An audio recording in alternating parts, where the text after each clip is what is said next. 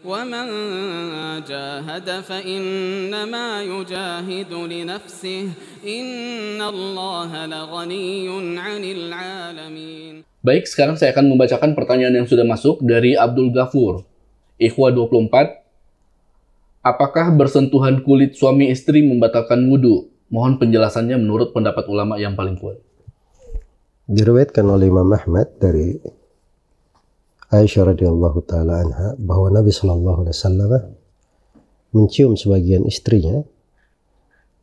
Sebagian ulama mengatakan yang dimaksud oleh Aisyah dirinya sendiri hanya saja kadang dibahasakan dengan sebagian istri karena memang kadang seorang perempuan kalau bercerita sesuatu terkait dengan hubungannya dengan suaminya kadang dia nggak terang-terangan jadi bahwa uh, Nabi keluar dan beliau pernah mencium sebagian istrinya setelah itu beliau keluar sholat dan tidak beruduk itu menunjukkan bahwa sekedar bersentuhan kulit itu tidak membatalkan wudhu dan itu pendapat yang lebih kuat walaupun di dalam pembahasan ini dimaklumi ada silam pendapat di tengah para ulama. Semoga Allah memberi taufik kepada semuanya. Baik, jazakallah khairan barakallahu fiik.